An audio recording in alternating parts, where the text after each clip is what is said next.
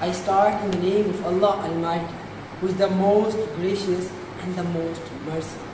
Mr. President, today our hearts are ready to pay tribute to those who made efforts and struggles for the attainment of freedom for the Muslims of subcontinent. Today is the 14th August and 14th August is the most blessed day in the entire history of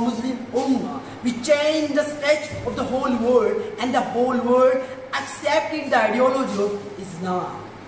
Mr. President, Pakistan's creation was no doubt the finest heart of our history. Our forefathers who had fought for it envisioned the promise of long-cherished freedom, democracy and prosperity.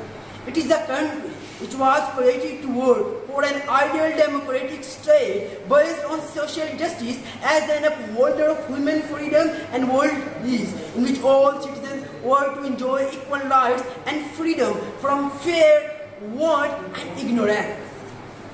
Mr. President, after the war of 1857, the Muslim leaders were very anxious about providing a safe, peaceful and sacred homeland for the Muslims of subcontinent. The Muslim leaders who worked with their unremarkable leadership abilities were Sir Syed Ahmad Khan, Syed Jamaluddin Afghani, Maulana Muhammad Ali Johar, Chaudhry Rahmat Ali, Allama Muhammad Iqbal, Qaid Azam Muhammad Ali Jinnah and the list goes on. Mr. President, Pakistan is one of the richest countries in the world in terms of natural resources. Pakistan is abundant in the vital resources, including that of energy, agriculture, minerals, population and geography.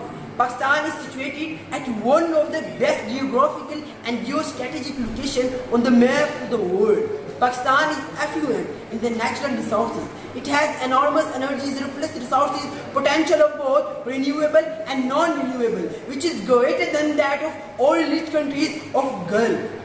Mr. President, among the world's 200 plus countries, Pakistan has second largest salt mine, second largest coal reserves in the world, fifth largest copper and gold reserves in the world, seventh largest wheat and rice production capacity in the world. It is the sixth most populous countries in the world having large share of young population and 1046 kilometer long coastal line gives potential of 40,000 megawatt of electricity. Mr. President, I should not say like this, but I am saying that how rich Pakistan is and how poor Pakistan is. Mr. President, the homeland in which we are living as a free man is due to unremarkable efforts and struggles of our ancestors. Allah Almighty helped our ancestors to get their lost respect. Mr. President, breathing. Thousands lay down their lives so that the country is breathing. This day, never forget their sacrifices. Happy independence. Thank you.